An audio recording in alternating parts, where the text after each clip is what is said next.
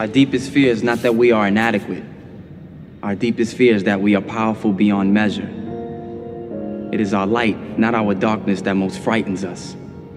Your playing small does not serve the world. There is nothing enlightened about shrinking so that other people won't feel insecure around you. We were all meant to shine as children do. It's not just in some of us, it's in everyone.